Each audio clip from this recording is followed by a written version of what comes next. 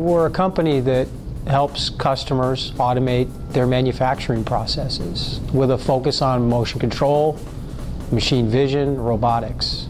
I think what's nice for the customers is they have pretty much one point of contact to go for uh, just a simple application they're looking for a sensor. But they can come back to the same engineering resource to come up with a much more complicated subsystem or a more complicated full turnkey system. They basically rely on the same resource but can handle multiple levels of automation. So if you look at our line card today, I'd like to think that we have the best of breed and some of the best product offerings in the industry. In our early days, it was simply a matter of taking pieces and providing them to customers.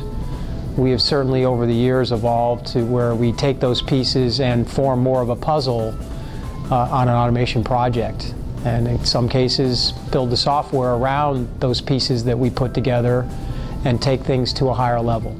The production group at Axis provides custom engineered solutions to our customers, allowing the best products from different vendors to be customized together and dropped directly into their products. Whereas in typical situations, the customers would get the products and have to spend their own engineering resources to build the final assemblies. We have the ability to provide that as a tested completed subsystem instead of just a box of components. It makes their life easier. They don't have to spend the time testing, assembling, aligning, following a procedure. They can just get a completed component and know it's going to go into the system and work the way they want it to work. But now they're not just manufacturing their systems in the United States, they're manufacturing them all over the world. So now we are really becoming a worldwide company where we are quite frequently shipping product to Asia, uh, Mexico, Europe, uh, those types of regions. Some of the breakthroughs in the industries that my customers work in are enabled by the technology that we can provide.